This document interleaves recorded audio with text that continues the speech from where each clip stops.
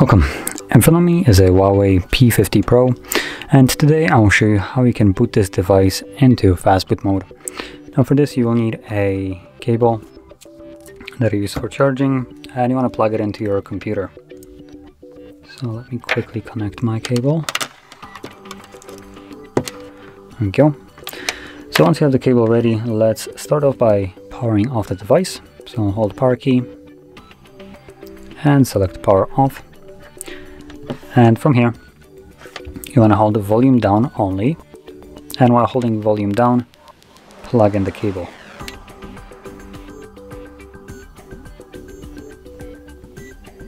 And there we go.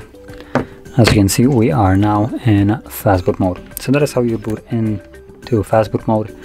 And to leave this mode, all you need to do is hold power key and volume down till the screen turns off. So I'm going to do that right now.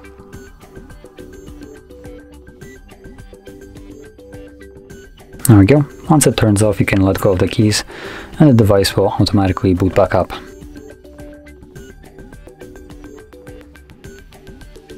And there we go.